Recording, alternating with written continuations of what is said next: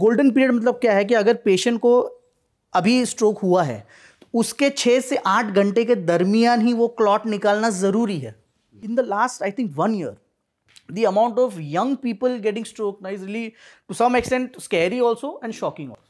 ये एज क्या है सर जो आ रही है। अभी एज मैंने देखा the youngest have done is a 29 year old boy in the last you can say no six years have train more than 5000 doctors all over the country so which I feel good that of course it's a very small part of the actual but मुझे एक अच्छा लगता है कि मेरी वैसे at least ground level पे किधर ना किधर कुछ तो एडवांटेज हो रहा है। He will not remember all this वो तो बोले खुद नहीं डॉक्टर थोड़ी नींद आ गई थी. उसको भाई तो नींद नहीं तो ऊपर जाके वापिस आया रिटर्न टिकट लेके. हाँ तो भाई स्वागत है अपनी जनता का नए पॉडकास्ट में। आज का पॉडकास्ट फिर से बहुत ही बढ़िया इंटरेस्टिंग होने वाला है। थोड़ा सा पढ़े लिखे वाला पॉडकास्ट होने वाला है क्योंकि आज हमारे साथ आ चुके हैं मुंबई से डॉक्टर साहब डॉक्टर मोनिल अजय भूटा जी। और मैं इनके बारे में थोड़ा सा बता दूँ अपनी जनता को कि ये he is one of the leading radiologist of a country और ये हमारे देश में तमाम शहरों में 300 से भी ज़्यादा लाइव वर्कशॉप्स कर चुके हैं। ये लोग इंटीग्रेट कर रहे हैं एआई को इन द मेडिकल साइंस और ये ट्रीट करते हैं पेशेंट्स को बहुत बीमारियों से, जैसे कि diabetes is one of those brain strokes is one of those और आज हम बात करने वाले हैं डॉक्टर साहब के साथ कि ये सब कैसे पॉसिबल हुआ है, चल क्या रहा है हमारे देश में और सर कैसे ट्रीट करते हैं अपने पेशेंट्स को। तो सर स्वागत है आपका हमारे thank you thank you so much thank you so much sir इतने भारी शब्द सुन के ना हमारी ऑडियंस थोड़ी घबरा गई होगी। तो थोड़ा सा हमारी भाषा में आम भाषा में बताओ रेडियोलॉजी क्या होती है और जो आप करते हो इंटरवेंशनल रेडियोलॉजी ये क्या होता है? परफेक्ट मैं आपको सिंपल बताता हूँ। सी रेडियोलॉजी कैसा है जो आई थिंक काफ़ी लोगों को पता रहता है कि सीटी स्कैन हो गया एमआरआई हो गया सोनोग्राफी ये सब हो गया रेडियोलॉजी में। अब उसका एक सुपर स्पेशलाइजेशन होता है जिसको हम इंटरवेंशनल रेडियोलॉजी बोलते हैं। ठीक है। इंटरवेंशनल रेडियोलॉजी मतलब क्या होता है कि आप वो एक्सरे के यूज़ करके या सोनोग्राफी यूज़ करके आप रिपोर्टिंग के अलावा आप पेशेंट्स के ऊपर सर्जरीज करते हैं। Okay. जैसे फॉर एग्ज़ाम्पल हो गया कि अगर ब्रेन में पैरालिसिस का अटैक आया है तो आप वो क्लॉट निकाल सकते हैं। Okay. बाकी बहुत सारी चीज़ें हैं जो आप बिना कट किए बिना चीरफाड़ किए टीवी में देख के वो हम सब ऑपरेशंस करते हैं जिसको हम इंटरवेंशन रेडियोलॉजी बोलते हैं। तो सर अगर आसान भाषा में मैं आपसे पूछूँ अगर कोई पेशेंट आया जिसकी सीटी स्कैन रिपोर्ट में आपको दिख रहा है कोई जैसे कभी कभी दिख जाता है कोई सिस्ट बनती दिख रही है या कुछ भी अनयूजुअल दिख रहा है तो आपके पास अगर वो रिपोर्ट आई तो आप इमीडिएट उसको ठीक कर सकते हैं या फिर आपको टाइम चाहिए होगा आप अलग से कुछ चीज़ें कैसी रहती हैं? जैसे आपने बताया सिस्ट मतलब कुछ चीज़ें ऐसी रहती है जो इमीडिएटली भी कर सकते हैं। कुछ चीज़ें ऐसी रहती है जिसमें शायद आपको और इन्वेस्टिगेट करना पड़ेगी वो एक्चुअल प्रॉब्लम है क्या? एक्चुअल मसला है क्या? सी ट्रीटमेंट का रूल क्या रहता है कि you have to always go to the root cause मतलब कुछ चीज़ दिख रही है लेकिन वो क्यों दिख रही है वो जानना भी ज़रूरी है। So once you find that out then you suppose to treat it तो सर एआई का जो इंटीग्रेट करके आप ये ट्रीट कर रहे हैं तो ए जो अपना मेजर रोल प्ले करता है बेसिकली आपको इंस्टेंटली मालूम पड़ गया this is the only thing जहाँ पे ए हेल्प करता है कि इंस्टेंट हमको मालूम पड़ गया या और भी चीज़ें हैं नहीं नहीं आई आई टेल यू उसका फ़ायदा क्या होता है? सी ए आई बेसिकली रोल क्या है ना कि अभी ए आई रोल जो इंटरवेंशन रेडियोलॉजी में, वो अभी डेवलप हो रहा है। ऐसा नहीं है कि वो फुली रेडी हो गया यूज़ करने को। अभी मैं आपको एग्ज़ाम्पल बताता हूँ। मैं आपको जो स्ट्रोक की बात बता रहा था। सी स्ट्रोक मतलब क्या है? India is one of the countries in the world जहाँ पे मैक्सिमम स्ट्रोक केसेस होते हैं। लेकिन अनफॉर्चुनेटली बहुत कम लोग हैं जो सही समय पर ट्रीटमेंट के लिए पहुँच पाते हैं। बिकॉज़ ऑफ़ दैट बहुत सारे लोग डिजेबल रहते हैं life time life time paralysis हो गया, हाथ नहीं चल रहे, पैर नहीं चल रहे। सो so, स्ट्रोक का ट्रीटमेंट क्या होता है कि जो क्लॉट है जिसकी वजह से आपको स्ट्रोक आया है वो आपको जल्द से जल्द निकालना है। जिसको हम मेडिकल भाषा में एक टर्म यूज़ करते हैं गोल्डन पीरियड गोल्डन पीरियड मतलब क्या है कि अगर पेशेंट को अभी स्ट्रोक हुआ है तो उसके छः से आठ घंटे के दरमियान ही वो क्लॉट निकालना ज़रूरी है। अब वो क्लॉट हम कैसे निकालते हैं? एंजियोग्राफी करते हैं ब्रेन की क्लॉट ढूंढते हैं और वो क्लॉट निकालते हैं। ये हो गई तो एंड की बात। लेकिन जो बीच का पार्ट है, वहाँ पे एआई का रोल आता है। जैसे फॉर एग्जांपल अगर पेशेंट को स्ट्रोक हुआ है तो सबसे पहले जो भी आजू बाजू जो डॉक्टर है हॉस्पिटल वाले है, वो पेशेंट को बोलेंगे, आप या तो सीटी स्कैन कराइए, या एमआरआई कराइए। अब वो पेशेंट सीटी स्कैन में जाएगा एमआरआई में जाएगा, उसका सीटी स्कैन होगा। वो रिपोर्ट जो डायग्नोस्टिक रेडियोलॉजिस्ट है, वो उनके पास जाएगा, वो रिपोर्ट करते हैं, वो रिपोर्ट रिलेटिव्स लेके आते हैं, फिर रिलेटिव्स मेरे पास आते हैं। अब ये सब चेन में ना वैल्यूबल तीन चार घंटे वेस्ट हो जाता है। और जैसे मैंने बताया अपनी विंडो पीरियड है ही छः से आठ घंटे की। अब वो दरमियान अगर आपने तीन चार घंटे इसमें वेस्ट कर लिए तो आपका जो सर्जिकल टाइम है वो तो और कम हो जाता है। सो अब एआई में हम क्या कर रहे हैं ना I am working with a couple of people के we are developing a software जैसा। फॉर एग्ज़ाम्पल कैसा अगर पेशेंट को स्ट्रोक हुआ है वो सी टी स्कैन या एम आर आई में गया जैसे ही उसका सीटी स्कैन खत्म होता है वो एआई द्वारा खुद ही पट- पहचान लेगा कि पेशेंट को स्ट्रोक है या नहीं है।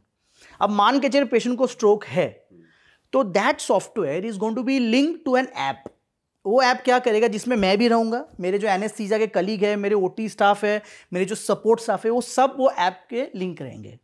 ताकि जैसे ही पता चला कि पेशेंट आया है, जिसको स्ट्रोक है, वो सबको एक नोटिफिकेशन जाएगा that okay there is a patient with stroke तो सब ऑटोमेटिकली रेडी हो जाएँगे सर्जरी के लिए and by that way you can save up to two to three years जो स्ट्रोक के केस में तो बहुत ही ज़्यादा वैल्यूबल रहता है। और सर ये एक्यूरेट भी है जैसे नॉर्मल रेडियोलॉजी और इसको अगर कंपेयर करें करेक्ट एक्यूरेट कैसा है कि it is still not up to the mark इसलिए उसके अभी तक एकदम फुल फ़ंक्शन हुआ नहीं है। वो ट्रायल चल रहा है जो over a period of time जैसे जैसे डेटा ज़्यादा इकट्ठा होगा जैसे जैसे उनकी एक्यूरेसी सेंसिटिविटी हम बोलते हैं बढ़ेगी वैसे ज़्यादा से ज़्यादा इंटीग्रेशन और एप्लीकेशन उसके बढ़ते जाएँगे।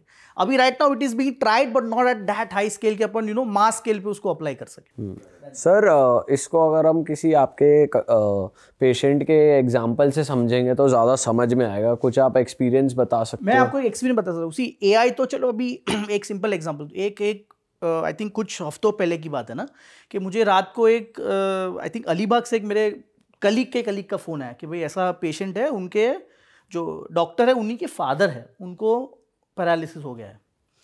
तो अब प्रॉब्लम क्या है? पैरालिसिस हुआ उनको आई थिंक रात को दस ग्यारह बजे। और मसला था कि वो अलीबाग में तो ये फैसिलिटीज़ हैं नहीं तो उनको अलीबाग से मुंबई आने को it's I think two to three hour का ड्राइव है। सर, वैसे पैरालिसिस होता किस चीज़ की डिफिशियंसी से है बॉडी में? डेफिशिएंसी नहीं होता है। पैरालिस होने के सिंपल दो तीन कारण रहते हैं। सबसे इंपॉर्टेंट कारण रहता है कि जो आपके ब्रेन की ब्लड सप्लाई है हर एक ऑर्गन को ब्लड मिलना चाहिए।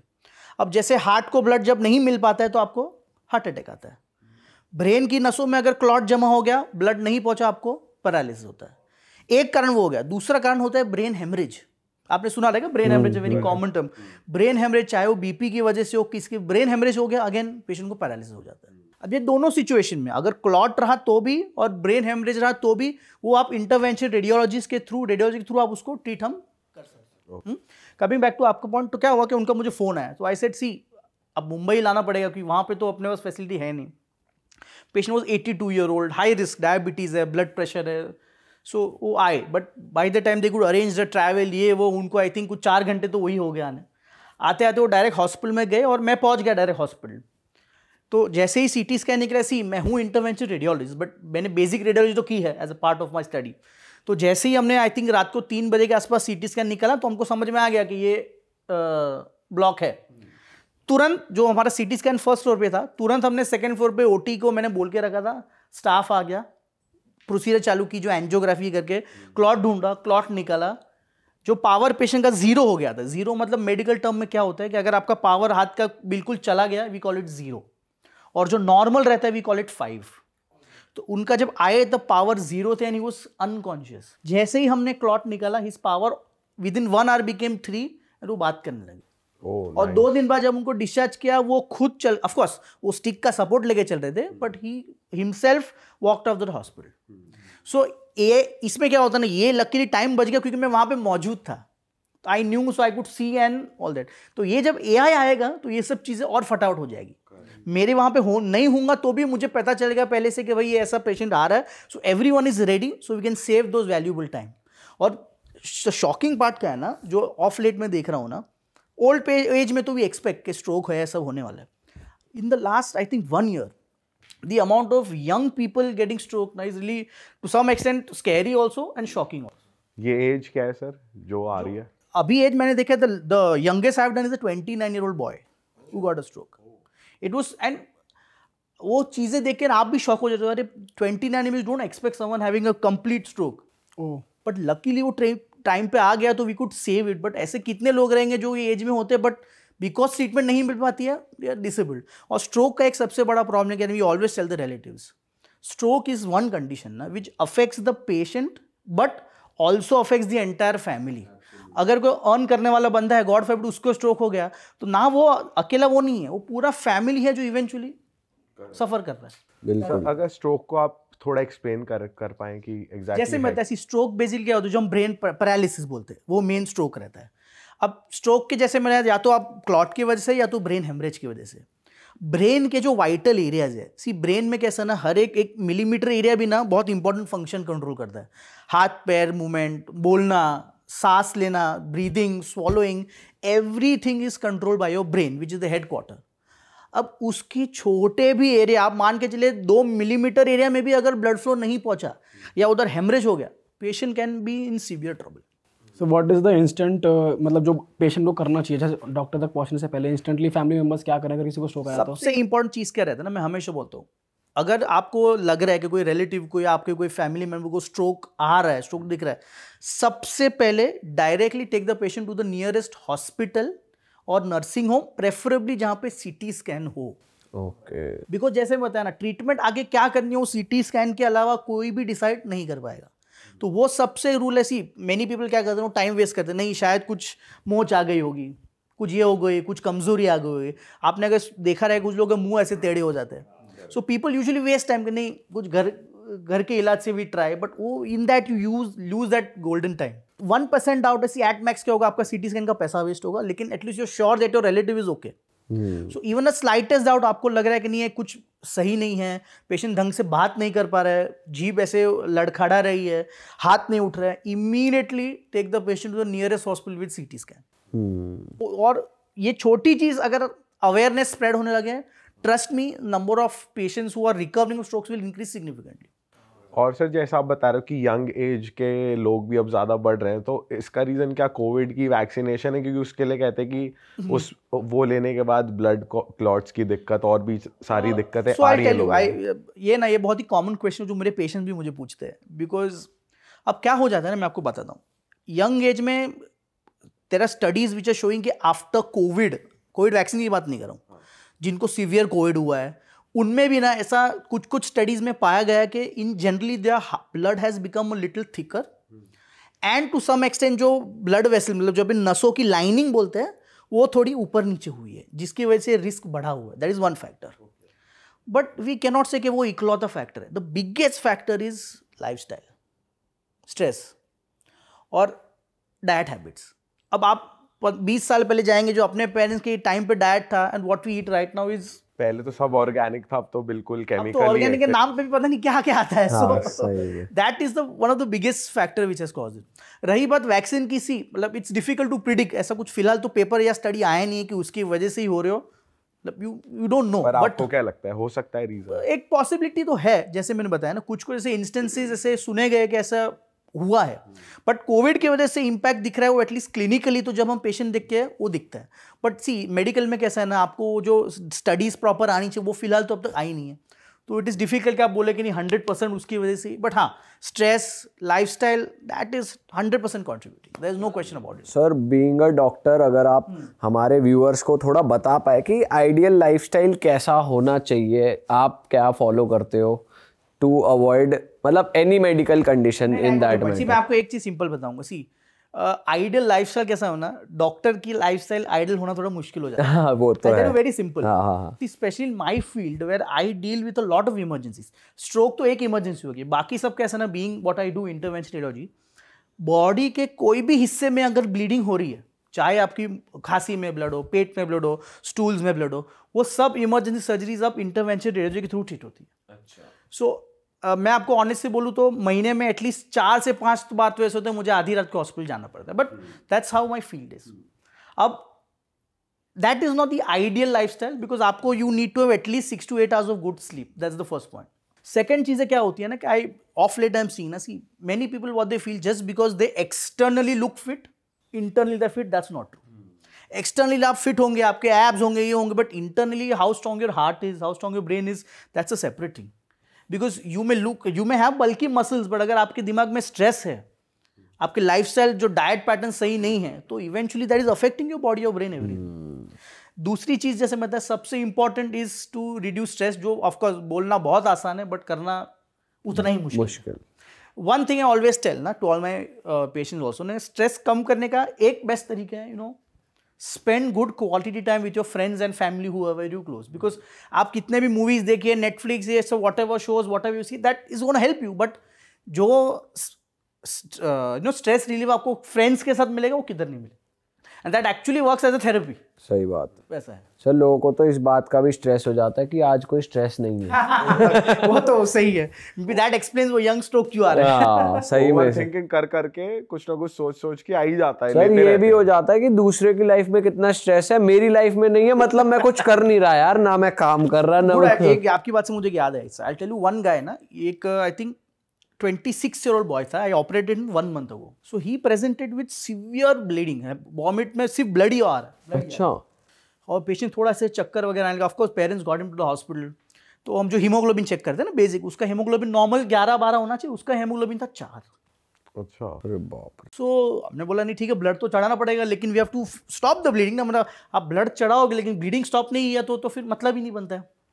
तो फिर मैं गया, हमने पेट की एंजियोग्राफी की मैंने तो एक मेन नस थी, जो अपने स्टमक की बाजू की नस थी, वो रप्चर हो गई थी। तो मैंने क्लोज की पेशेंट स्टेबल हो गया। देखने की बात की थी सी ये होने के लिए कुछ रिस्क फैक्टर होना चाहिए। सी ऐसे तो नहीं हम बात करें सडनली कुछ नस फट जाए। सो पहले तो कुछ पेरेंट्स ने भी हिस्ट्री नहीं दिया, कुछ नहीं, हम हो गया। फिर डिस्चार्ज के वक्त ना, एक बार वो मैं राउंड्स पे गया था तो मैं उसको बोला, भाई, मुझे एक्चुअल पता कि मामला क्या है। सो देन ही टोल्ड मी कि क्या हो रहा है ना, कि हीज फ्रेंड्स मतलब उसके जो ग्रुप वगैरह रहेंगे ना they are very active on social media ये सब में। तो वो जब उनका जो भी पोस्ट या जो भी वो सब रहते हैं उसमें बहुत लाइक आते हैं ये आते हैं वो आते हैं इन द वर्क प्लेस वगैरह भी लाइक आते हैं। और उसके जो पोस्ट है वो सब में इतना नहीं जिसकी वजह से ही स्टार्टेड फीलिंग इन्फीरियोरिटी कॉम्प्लेक्स जिसकी वजह से ही स्टार्टेड डूइंग ड्रग्स ओ। देन एवरीथिंग फिट टुगेदर वो जो the drug which you mention उसकी वजह से ये होता है problem and then everything fell in the right place as to why this happened sir कौन सा ड्रग है? बता दो जो करते होंगे वो रुक जाएँगे। नहीं जी ड्रग तो अभी कैसा है ना बहुत सारे अवेलेबल है। देर कुछ certain that are chewable drugs which give you that you know that high but they cause all the side effects chewable drug chewable drug अब तो उसकी तो पूरी रेंज आ गई है। तो सर ये स्टोरी पेशेंट ने आपको बताया कि मुझे थोड़ा सा ऐसा फील हो रहा था? and he told me when when I was at the discharge के पहले उसको आईसीयू से वार्ड में शिफ्ट किया। अकेले में बात कर रहा था पेरेंट्स वेरेंट्स कोई नहीं थे। That is time when he told me this अरे बाप and his and last statement was sir मेरे पेरेंट्स को मत बताना ये. Now see for me it becomes a very tricky situation मैं करूँ क्या? सर बताना तो पड़ेगा आपने तो बताया। लगा वीड वगैरह बोलोगे ऐसा कुछ बोलोगे लेकिन ये तो अलग ही लेवल का नशा है। और वीड तो है उसके तो अलग साइड इफेक्ट्स है। ये सब और अलग लेवल के साइड इफेक्ट्स है। और पेरेंट्स को see I had to tell them but there was I told him told him in a very subtle way ताकि see it should not strain their relationship also at the same time it should not happen कि भाई वो दु- बंदा दोबारा घूम फिर के वही लेवल पे आ जाए। कि भाई वापस पेरेंट्स ने ध्यान नहीं दिया जो भी दिया वापस तो इसलिए you have to maintain that balance doctor तो आप अच्छे हो दोस्त भी हो। मतलब कभी कभी बनना पड़ता है। सर थोड़े और क्रिटिकल क्रिटिकल केसेस समझा बताइए जो पेशेंट का आपने डील करा हो। हाँ एक चीज़ ना मैं हमेशा मेरे पेरेंट्स को मेरे पेशेंट्स को बोलता हूँ ना कि कैसा है ना सी मेडिकल फ़ील्ड में जब भी आप कोई सर्जरी करते हैं सी इलेक्टिव सर्जरी दो टाइप की रहती है। एक रहती है इलेक्टिव सर्जरी एक रहती है इमरजेंसी सर्जरी इलेक्टिव मतलब क्या कि आपको पथरी है किडनी में आपको पता है मुझे निकालने जाना है आप सुबह एडमिट हो गए पथरी निकाली निकल गया। दैट इज़ इलेक्टिव इमरजेंसी मतलब क्या? ये सब जो मैंने बताई कि भाई ये इमरजेंसी सर्जरी है। तो एक मैं हमेशा बोलता हूँ ना कि इमरजेंसी जब भी सर्जरी रहती है ना of course surgery is important but there is actually a lot dependent on your luck I tell that to the patient I tell you why honestly मैंने ना इतनी सारी सर्जरीज की है बट एक चीज़ ना मैं सीख गया हूँ कि मैंने कुछ चीज़ें ऐसे जो केस में मुझे लगा, अरे मैंने बहुत ही मेरा बेस्ट सर्जरी किया है मेरे लाइफ का करियर का, ये पेशेंट एकदम ठीक होगा बट हुआ उल्टा है। अच्छा। और कुछ चीज़ में ऐसे लगता है, अरे I could have done a little better job but patient next day चलने लगा उसका रीज़न क्या है ना it's not that that I have done something wrong और राइट इट्स जस्ट दैट वो पेशेंट अपना नसीब और वो लिख के आता है। अब मैं आपको एग्ज़ाम्पल दूँ, एक लेडी थी she delivered a child I think some five six weeks ago when she had and then suddenly she was having pain pain pain and suddenly started severe bleeding uterus के रास्ते से pregnancy जहाँ, उसके रास्ते से। तो पहले वो हस्बैंड और फैमिली उनको आजू बाजू के नर्सिंग होम में लेके गए, उन्होंने बेसिक इंजेक्शन वगैरह दिए, पर it didn't stop it didn't stop फिर उन्होंने सोनोग्राफी की तो उन्होंने दिखा कि भाई जो हम प्रेगनेंसी के दरमियान जो कुछ हिस्सा था वो अंदर छूट गया था प्लेसेंटा हम बोलते उसका, जिसके she was having severe bleeding और ये टाइम पे फिर मुझे फ़ोन आया, तभी मैं लोना वाला था I gone out with friends so उनका फ़ोन आया कि ऐसा ऐसा है तो we'll have to urgently do जो मे सर्जरी करते जो एम्बोलाइजेशन बोलते हैं, करना पड़ेगा. ऐसे ठीक है, आप सब तैयारी करो पेशेंट शिफ्ट करो, मैं लोना वाला हूँ, मैं तो डेढ़ घंटे में आ जाऊँगा. तो सब रेडी किया, सब किया।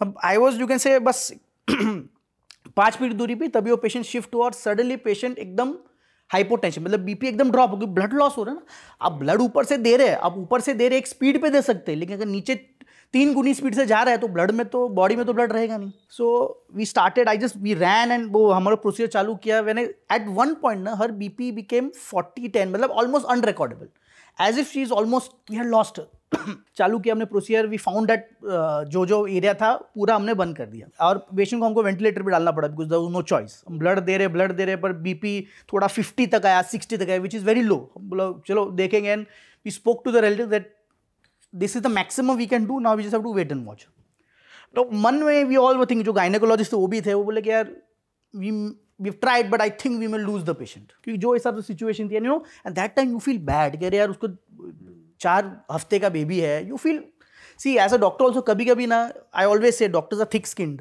but कुछ चीज़ें होती है ना, वो आपको मेंटली हिला देती है दो में यू फील डर यार फोर वीक ओल्ड बेबी है बट ये हो रहा है but this you actually you say you just pray to God day one पे see ventilator continue luckily I मेरे कल this is pure miracle day two suddenly ऐसा तो कुछ अलग नहीं किया, her BP started coming up उनका जो किडनी फेल हो गया था शट डाउन हो गया था मतलब यूरिन नहीं आया तो यूरिन आने लगा। And on six to seven day ventilator भी निकाल दिया and after that she went home so ये मैं ही बोलता हूँ ये सब ये सर्जरी में तो वही है जो किया है। ऐसा नहीं है कि मैंने कुछ अलग किया है ये किया मेडिकली बट कुछ चीज़ होती है वो एक ऊपर से आपको डिवाइन इंटरवेंशन आ जाता है जो आपकी ट्रीटमेंट को चेंज कर देती आप मानते हो सर इस चीज़ में क्योंकि बहुत लोग मानते नहीं आई तो रियली बिलीव दैट सी मैंने इतनी सर्जरीज मैं तो जितनी ज़्यादा सर्जरीज करता हूँ उतना ही ज़्यादा मैं उसको बिलीव करने लगा हूँ। कि एज अ डॉक्टर सब लोग अपना बेस्ट देते हैं कोई भी सर्जरी हो। बट कुछ चीज़ें होती है ना, वो एक जो ऊपर से आती है, वही आपको हेल्प करता है। एंड बोथ वेज एक और एग्ज़ाम्पल देता हूँ, एक I think around forty eight या फोर्टी नाइन ईयर का मेल था ही हैड ब्रेन हेमरेज तो सी टी स्कैन निकला तो पता कि एक जगह से उनको ब्लीडिंग हो रहा है। तो सब रिलेटिवली तभी तो वेंटी पे थे पेशेंट वेंटिलेटर पे। हमने लिया इमर्ज सर्जरी किया, वो ब्लीडिंग पॉइंट मिल गया, उसको हम बंद कर दिया। चालू है चालू है। आती three two four days he started improving तो हमने वेंटिलेटर निकाल दिया, ये, वो। आई थिंक डे टेन या अभी मुझे याद नहीं डे टेन या डे ट्वेल्व था तो ICU से नेक्स्ट डे मॉर्निंग वार्ड में शिफ्ट था। This was the plan everything वो सेट सुबह में राउंड्स पे गया like I am feeling better ऐसा वैसा। खुद बैठ के is having breakfast on the I bed चार घंटे बाद मुझे फ़ोन आया कि सर वो पेशेंट को हमने वापस वेंटिलेटर पे बिठाना पड़ा। तो आई सेड क्या हो गया? मतलब सरप्राइजिंग ना।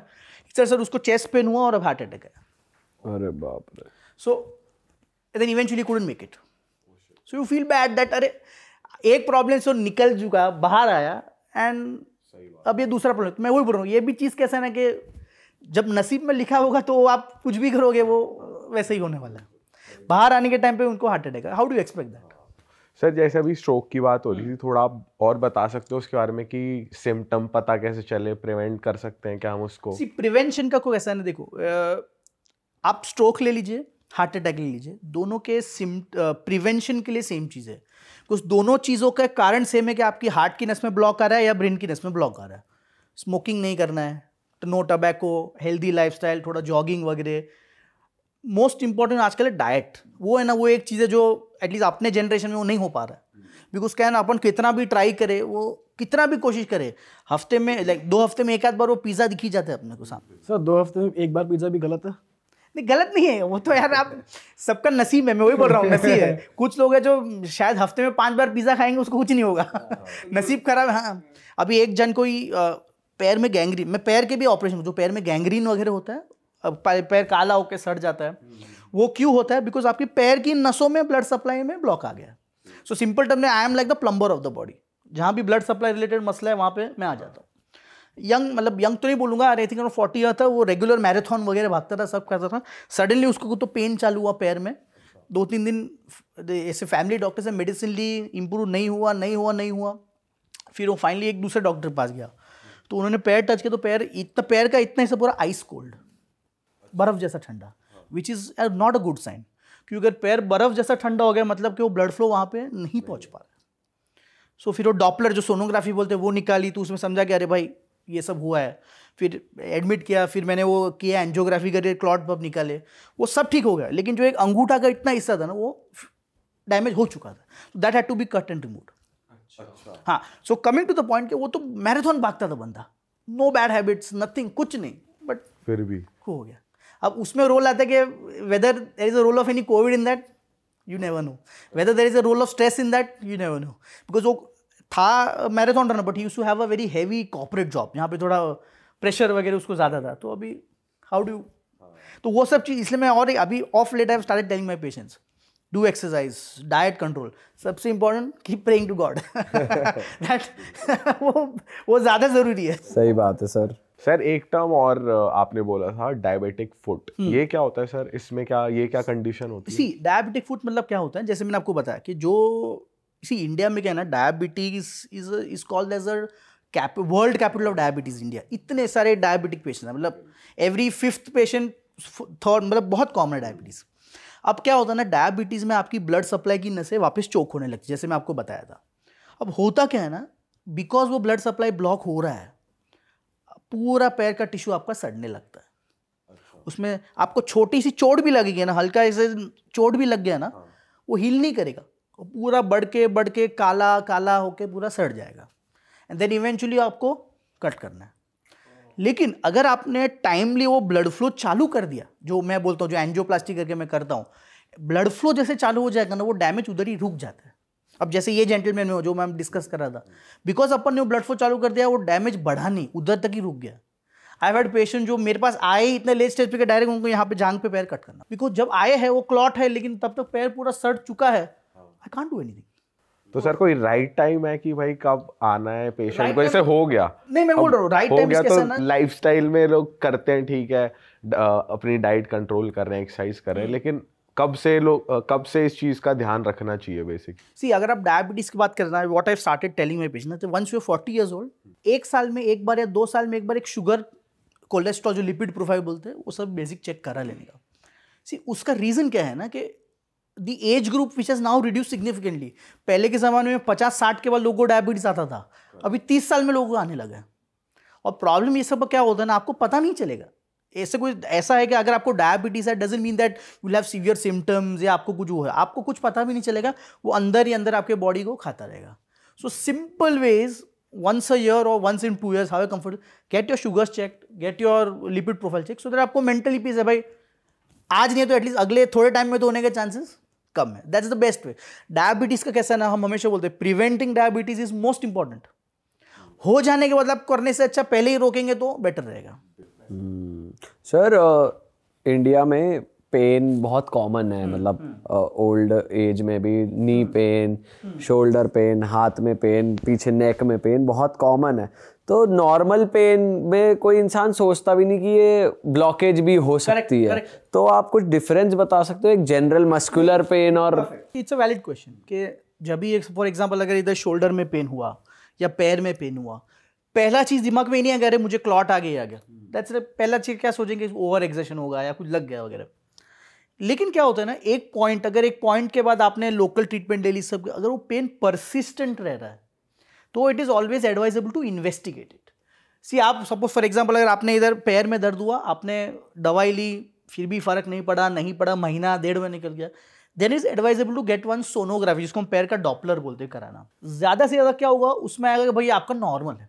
सो यू नो कि ठीक है there at least nothing to worry दर्द है, शायद मसल पेन हो विटामिन डेफिशिएंसी हो but you are sure that there is nothing worrisome हाँ अगर उसमें आ गए आपको वेरिकोज वेन्स का मसला है, या ब्लॉकेज है then you are alert cat okay I need to treat this so मैं हमेशा बोलता हूँ ना little over investigation is never going to harm you except जो आपको पैसा देना पड़ेगा वो। बट एटलीस्ट आपका पैर या जो भी हेल्थ है वो आपकी रिलेटिवली सेफ़ रहेगी। सर ये क्या होता है? वेरिकोज वेन्स वेरिकोज वेन्स क्या होता है ना कि पैर की जो वेन्स रहती है it's a very common problem वो वेन्स है ना फूलने लगती है। वो क्यों फूलती है? स्पेशली जिनका बहुत स्टैंडिंग का जॉब है या बहुत ही ओबीस पेशेंट्स है जो मोटे हैं उनमें पैर की वेन्स वो फूलने लगती है। अब फूलने के कारण क्या होता है? पैर का जो ब्लड सप्लाई है वो धीरे धीरे धीरे थोड़ा सब ऑप्टिमल मतलब पुअर होने लगता है। जिसकी वजह से पैर में थोड़ा पेन हो गया पैर में आप बोलते हैं स्वेलिंग आ गया दर्द आ गया वो ग्रीन ग्रीन वेन्स ऐसे पैर पे दिखने लगी वो सब वेरिकोज वेन्स के सिम्टम है।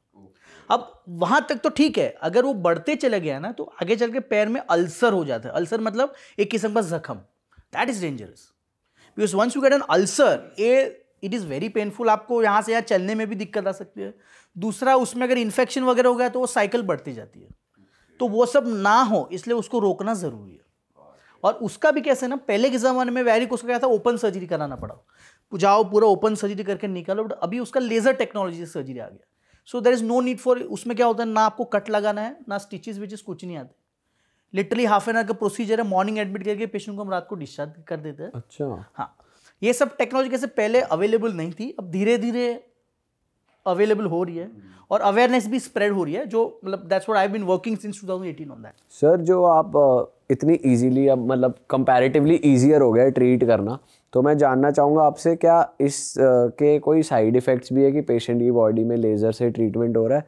और जब वो ट्रीट होके जाते हैं तो क्या लाइफस्टाइल बिल्कुल बैक टू नॉर्मल आ जाता है या थोड़े प्रिकॉशन नहीं सी एक सिंपल बात है जो मैं हमेशा कहता हूँ ना सी मेडिकल फ़ील्ड का कैसा है ना आप एक छोटी से छोटी टैबलेट लेंगे या बड़ी से बड़ी सर्जरी करेंगे small risk of side effect is always going to be there because हर एक पेशेंट का बॉडी अलग तरीके से रिएक्ट करता है।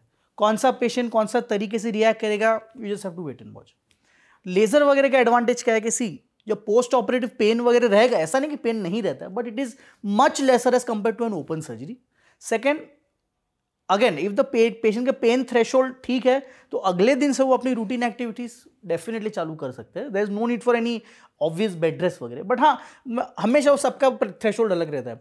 मेरे को शायद बहुत ज़्यादा पेन हो आपको शायद कम हो आपको शायद बिल्कुल ना हो। It depends on how tolerant you are towards the pain God वैसा रहता है। सर मेरे माइंड में क्वेश्चन आ रहा है कि अ, जैसे हम बात कर रहे हैं ब्रेन हैमरेज और हार्ट अटैक्स की तो थोड़ा सा एक कंट्रोवर्शियल क्वेश्चन है कि अ, बहुत से लोग को हार्ट अटैक्स या ब्रेन हैमरेज हम देख रहे हैं आजकल वर्कआउट करते हुए हो रहा है। Yes yes. तो बीइंग अ डॉक्टर मतलब आप एक डॉक्टर हैं तो मैं आपसे जानना चाहता हूँ कि आप सजेस्ट करते हैं रेकमेंड करते हैं अपने पेशेंट्स को कि आप जिम करते हुए जो सप्लीमेंट्स लिए जा रहे हैं क्या ये एक रीज़न बन रहा है इस चीज़ का? या फिर व्हाट डू यू आपका क्या टेक है नहीं सो मैं आपको I be very honest with you कैसा है ना see me personally I have never been a big gym person वो तो शायद आपको दिखता भी होगा. बट कैसा है ना सी सप्लीमेंट्स वगैरह क्या हो जाता है ना, आजकल the biggest issue more than supplement is the authenticity of the supplement अब जो आपको बॉक्स पे बेचा जा रहा है वगैरह, वो एक्चुअल वो प्रोडक्ट है कि नहीं there lot of question marks on that second thing क्या होता है ना सी आजकल पब्लिक क्या हो गया ना they are into over fitness जैसे मैं बताया ना, किसी जस्ट बिकॉज़ आप बाहर से फिट दिखते हैं इट बाय नो मीन्स कि आप अंदर से आपका हार्ट उतना मज़बूत है।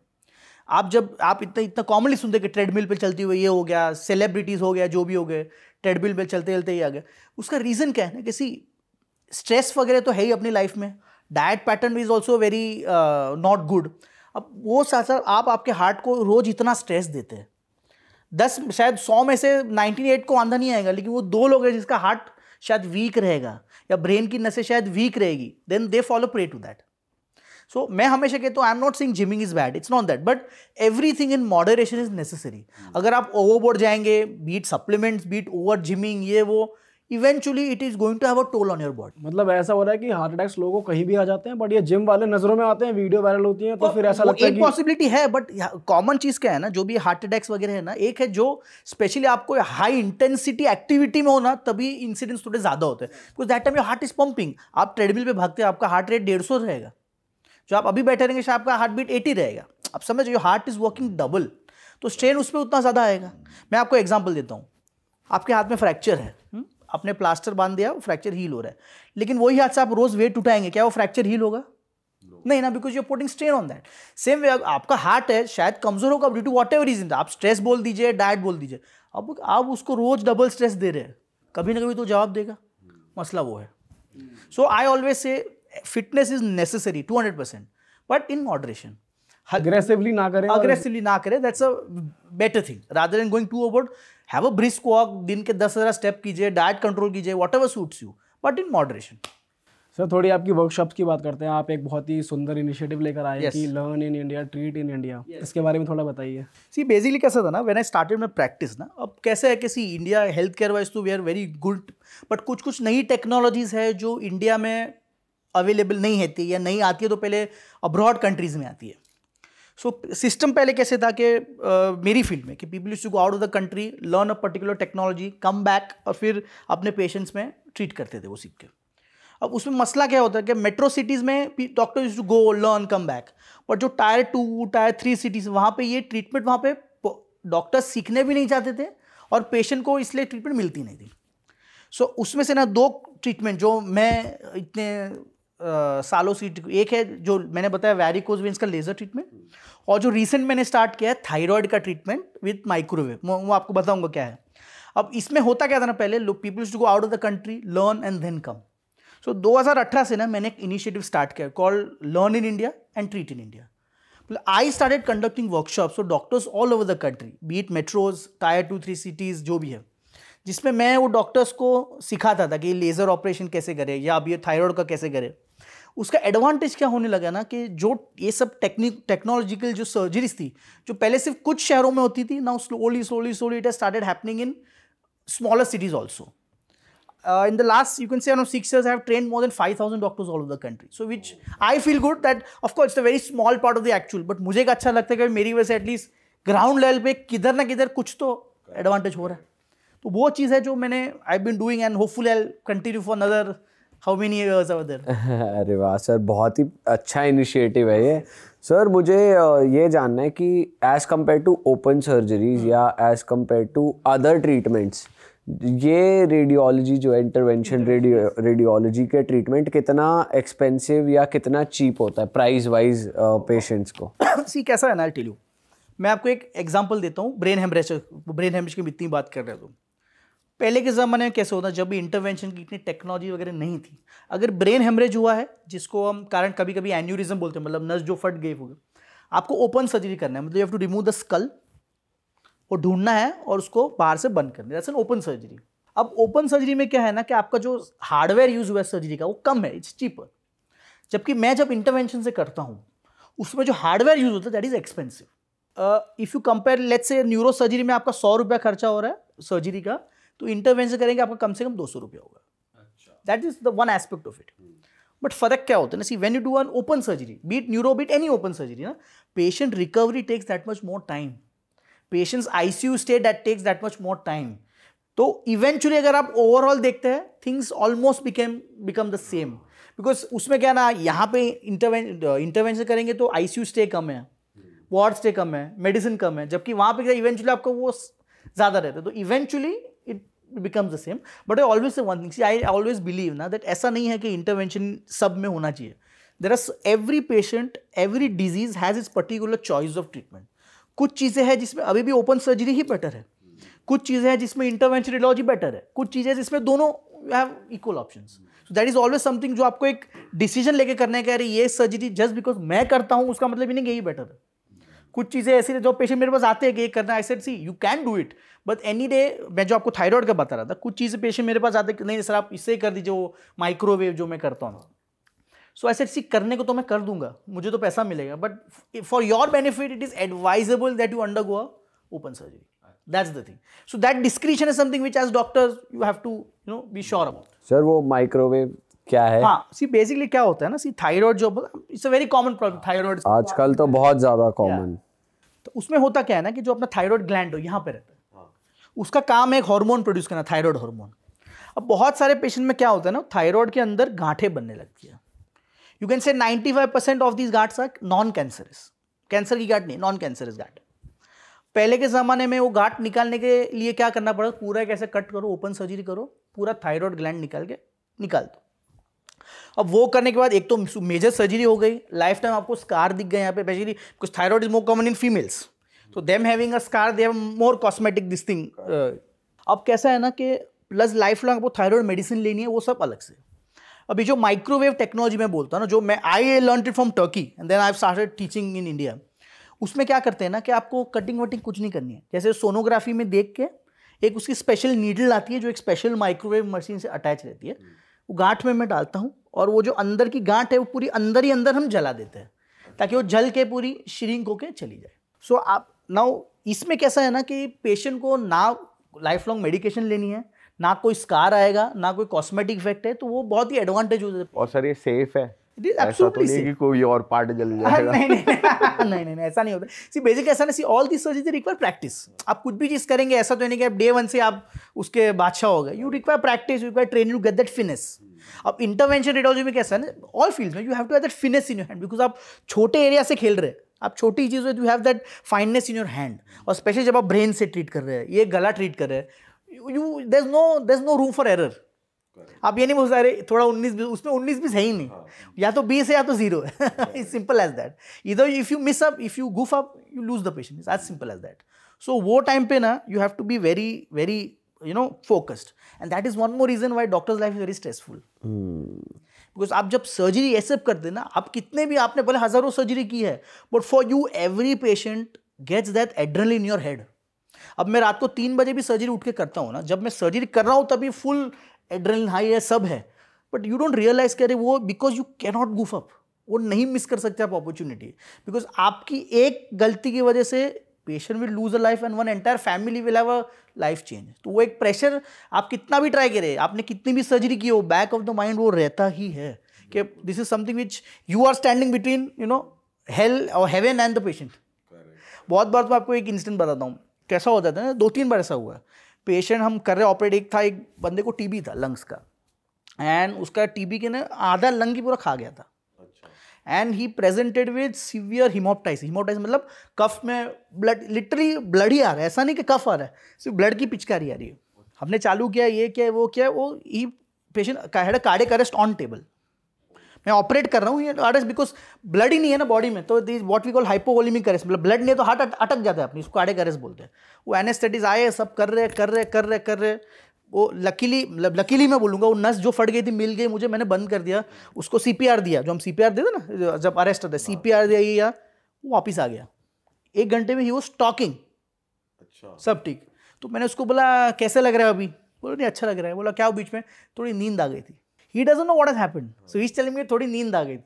एक्चुअली हेड ऑलमोस्ट गॉन इसी जो शोइंग अ फ्लैट लाइन वो तो टाइम था ओटी में था, अभी manage any came back so it's like at that time अगर वो नहीं हुआ होता यू वुड लॉस्ट हिम तो वो आधा एक घंटा he will not remember all this वो तो बोला, कुछ नहीं डॉक्टर थोड़ी नींद आ गई थी. पर उसको भाई तो नींद नहीं तो ऊपर जाके वापस आया रिटर्न टिकट लेके. बट सर डेफिनेटली आप आप सभी डॉक्टर्स आपके लिए भी रिस्पेक्ट आप सब इतना अच्छा काम कर रहे हैं और हम तो इमेजिन भी नहीं कर सकते सर हम तो एक सेकंड में ब्लेम कर देते हैं कि डॉक्टर्स की गलती से वो पेशेंट चला गया बट कोई ऐसा चाहेगा नहीं। See I be very honest see as a doctor I am sure I am every सबका एम यही है कि जो मैंने पेशेंट मेरे सामने ना I want to treat that patient and make the patient okay because that's like an achievement for me कोई मेरा पेशेंट और मैं आपको बोलता हूँ सी वो जो बोलते हैं ना हम लोग डिस्कस लोग ड्रग्स वगैरह करते हैं क्यों? क्योंकि उनको हाई मिलता है। फॉर डॉक्टर्स ना जब आपका बैड पेशेंट सही होकर जाता है ना उससे बड़ा हाई कुछ नहीं है। अब आप सोचिए जब वो मैं वो जो एट्टी टू जेंटलमैन की बात कर रहा था वो परालिसिस लेके आया था वो चल के घर गया। To feel so happy right. वो पेशेंट ऐसे देखते हैं अब ये जो पेशेंट था वो बेचारा ऊपर जाके नीचे आ गया। तो आपको कितनी खुशी मिलती है डॉक्टर अरे यार बच गया ये।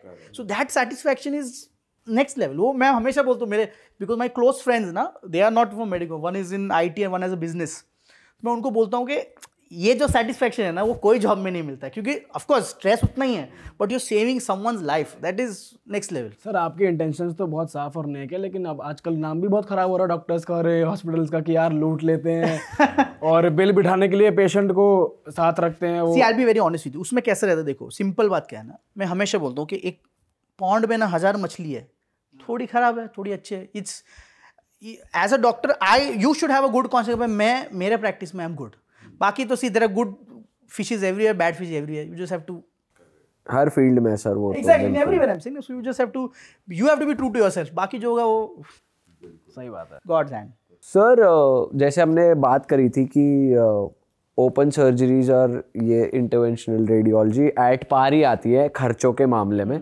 बट कई लोग ऐसे हैं जो ये भी नहीं अफोर्ड कर पाते और वो तो बिल्कुल मतलब थोड़ा अवेयर भी कम होते हैं कि ऐसी कोई प्रॉब्लम हो सकती है। तो उस केस में उन लोगों के लिए कुछ अभी कैसा है ना see I think lot of the governments state government they have on different schemes and all for example Maharashtra government भी एक स्कीम है आई श्योर अदर स्टेट्स में भी होंगी ना कि जो जो एकदम अनअफोर्डिंग पेशेंट है जिसको बिलो पॉवर्टी लाइन बोलते हैं ना there are certain government schemes उसका एडवांटेज क्या है ना कि कुछ कुछ हॉस्पिटल्स है जो सिलेक्टेड गवर्नमेंट असाइंड हॉस्पिटल्स हैं वहाँ पे ये पेशेंट्स को एक पर्टिकुलर अमाउंट तक का पूरा फ्री ट्रीटमेंट मिलता है।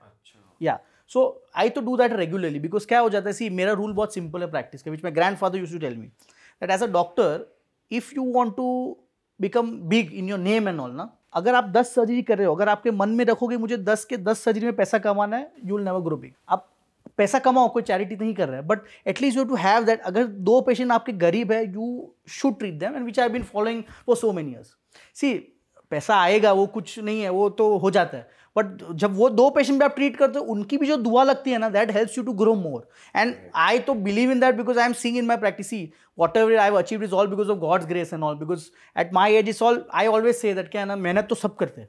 कुछ चीज़ें जो मैं पहले ही बता रहा था वो ऊपर से आती है वो वैसा है। तो if you have a clean heart you want to serve mass वो हो जाता है फिर। एब्सोल्युटली सर मज़ा आ गया आपसे बात करके एंड आपसे मिल के भी पर्सनली बहुत मज़ा आया। बहुत ही साफ़ दिल के अच्छे इंसान पहले हो। अच्छे डॉक्टर तो एम श्योर आप हो ही बट आप बहुत अच्छे इंसान हो। आपके इंटेंशन सबके लिए बहुत प्योर है। और आप सारा क्रेडिट खुद नहीं लेते। आप असली जो एनर्जी है उसको भी उनका क्रेडिट देते हो तो वो भी बहुत अच्छी बात है। तो मैं जनता को बताना चाहूँगा कि आप सर से कैसे कनेक्ट हो सकते हो उसकी सारी डिटेल्स डिस्क्रिप्शन में मैंशनड है।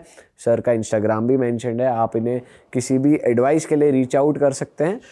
बीइंग अ बिज़ी मैन ये अपनी कन्वीनियंस पे रिप्लाई करेंगे तो थोड़ा पेशेंट आपको रहना पड़ेगा। एंड uh, ऐसे ही मज़ेदार पॉडकास्ट के लिए आप हमारे चैनल को सब्सक्राइब कर दीजिए। इंटरवेंशनल रेडियोलॉजी से रिलेटेड और भी इंफॉर्मेशन सर की वेबसाइट पे है जहाँ जिसका लिंक डिस्क्रिप्शन में है। आप जाकर इनकी वेबसाइट पे चेकआउट कर सकते हैं क्या क्या सर्विसेज़ हैं क्या क्या फ़ीस है क्या एड्रेस है सब कुछ आपको वहाँ पर मिल जाएगा। और मैं जनता से बोलूँ भाई इस पॉडकास्ट को अपने तक ना रखें। बहुत ही ज़्यादा वैल्यूबल नॉलेजेबल बात हुई है इस पॉडकास्ट में। प्लीज़ लोगों तक फैलाएँ और इस पॉडकास्ट को ज़रूर शेयर करें अपने व्हाट्सएप ग्रुप्स पे एंड एवरीवेयर एंड ऑल्सो हम लोग लेकर आए आप लोग के लिए मर्चेंडाइज का कुछ नए डिज़ाइन ये है मेरे पास Om if death had a pet इसका बहुत तगड़ा डिज़ाइन है बैक वाला देखना। गांधी जी ने पहना हुआ एवोल्यूशन एवोल्यूशन तो जैसे सर मेडिकल फ़ील्ड में एवोल्यूशन ला रहे आप भी अपनी लाइफ में एवोल्यूशन लाई। ये ये सर का बैक प्रिंट पे स्कॉर्पियो है डेथ पेट तो चलो दोस्तों मिलते हैं आपसे। ये आप ये तो लेने कहाँ से हाँ? ले सकते हो आप ये रियल स्टोर डॉट कॉम से नीचे डिस्क्रिप्शन में मैंशनड है। हम मिलेंगे आपसे पॉडकास्ट में। Till then bye bye take care जय श्री राम। जय भोलेनाथ।